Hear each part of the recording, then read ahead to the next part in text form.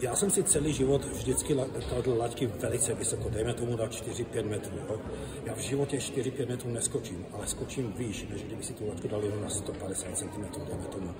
Čili nebojte se, kladte si velké nároky a hlavně další věc, co bych poradil, eh, hledejte příležitosti. Ty příležitosti kolem nás existují, jsou všude. A tady jde o to najít tu příležitost a pak identifikovat, že to je příležitost a pak se jim nebát. Jakkoliv je velká, nebát se. Jděte do toho ze vší silou, protože pokud do toho půjdete se vším, co máte, eh, pokud do toho dáte opravdu, pokud opravdu budete chtít, tak to dosáhnete. Nebojte se velké příležitosti.